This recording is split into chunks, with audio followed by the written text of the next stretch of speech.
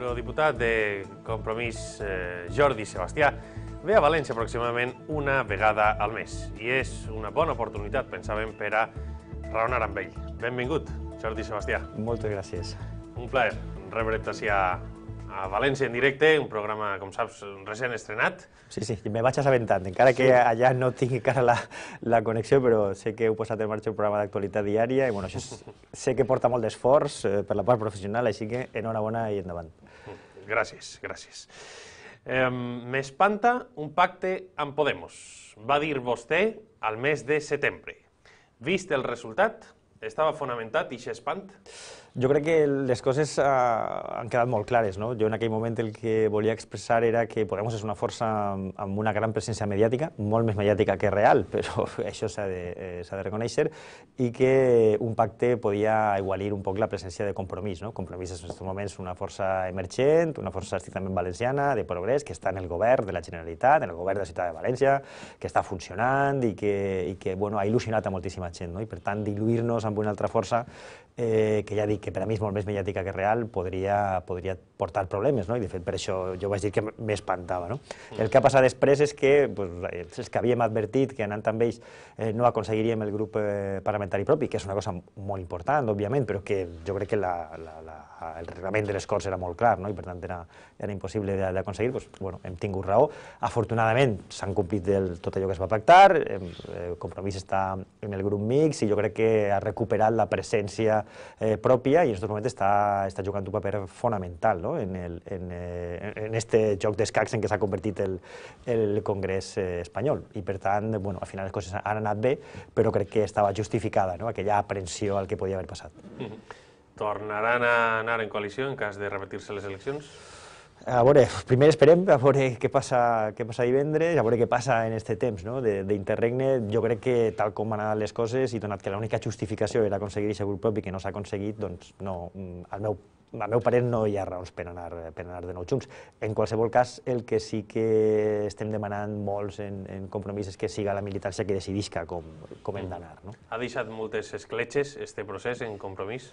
Eh, bueno, el que ha posat de manifest sobretot és que eh, som una formació molt plural i llavors eh, gestionar aquesta pluralitat és complexa no? i que per tant el que necessitem és més, eh, més democràcia interna, més presència de les bases, més eh, consultes a la militància en qüestions fonamentals fonamentals com aquestes, i jo crec que en això estem tots d'acord. Per tant, eh, després d'un moment de, de tensió, pues ara ve, ve la calma i imagina que trobarem, eh, eh, imagina no, estic segur que trobarem els mecanismes per a, per a funcionar d'una forma més tranquil·la, perquè cada volta que arriba una contesa electoral en compromís hi ha excessiva tensió. No? Al final se soluciona, les coses estan funcionant bé, però cal, cal millorar el sistema. Mm vostè va abandonar, encara que fora de forma simbòlica, l'executiva de compromís. Sí, a mi em va, em va doldre bàsicament d'això, no? que les consultes a, a la militància havien dit clarament que no eh, volíem anar amb, amb Podemos i que finalment, per una decisió tàctica feta des de la direcció, sí que, sí que es va anar així. No? Per tant, una forma de protestar més simbòlica que real, perquè jo sóc membre de l'executiva per ser eurodiputat, no, no vaig ser electe. No? Ja. Eh, bueno, però crec que, que calia fer en aquell moment, no, no em penedís de res i continuem mantenint aquesta postura crítica de cara a un millor funcionament interior. No? Dit això, estic molt content en com ho està fent la gent del nostre grup de compromís a, al, al Congrés, que encara que no sigui grup propi, està apareguent com a tal, com a compromís, se'ns coneix, se sap que estem fent propostes sí. serioses i això és fonamental. No? Entre altres coses perquè només van aplaudir a Valdoví els membres de compromís el dia d'ahir. sí, una miqueta. Tristament. Sí, sí, això demostra que tampoc... Eh, jo crec que un polític ha de tindre... So, algunes coses pot, no són necessàries per a fer política, però capacitat de diàleg ha de tindre una capacitat infinita, no? I capacitat de saber estar. I això no me paregué molt correcte, però bueno, el, cadascú se retrata. Com creu que acabarà aquesta història, noves eleccions, o encara té opcions in extremis Sánchez? Jo ho veig molt complicat, jo crec que, que, que anem cap a... Bueno, encara que siga el mes d'abril o maig, sí, té opcions d'evitar les eleccions? A, a, anem a veure, forma, jo crec que eh, eh, demà les coses aniran com, sí, com, com, com, com anaven sí. i per tant, i a partir d'ahir pot haver noves negociacions. Jo eh, insistís, jo crec que entre els partits d'Esquerra i el Partit Socialista se pot arribar a fer una cosa semblant al missatge que està dient Compromís, en base a l'esperit del pacte del botànic eh, valencià, no? Però també hem de fer números i eh, els catalans, els grups catalans són absolutament imprescindibles en aquests moments. No? Per tant, aquest tancament a no voler parlar amb eh, Esquerra Republicana, Democràcia i Llibertat, me pareix també un contrasentit. No? Uh -huh. I per altra banda, pues, eh, sí, és cert que el Partit Socialista no vol una gran coalició, aleshores sí que mm, els números estan ahí, no hi ha més que noves eleccions que no sé si canviaria molt el panorama, eh? està, tot molt, està tot molt obert. Vostès han iniciat a Brussel·les el, eh, la comissió d'investigació sobre el cas dels motors de Volkswagen. Han rebut esta setmana, per iniciativa seua, l'enginyer de Castelló, Vicent Franco, que va ser un dels que va destapar el cas. Quin abast pot tindre aquesta comissió d'investigació?